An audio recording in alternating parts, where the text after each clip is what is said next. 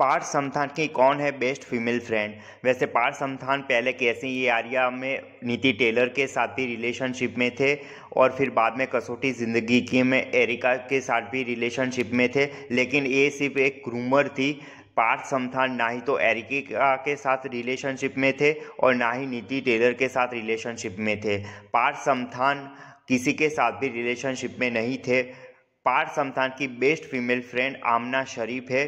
पार्थ समथान और Aamna Sharif best female friend है। पार्थ समथान की best female friend Aamna Sharif है।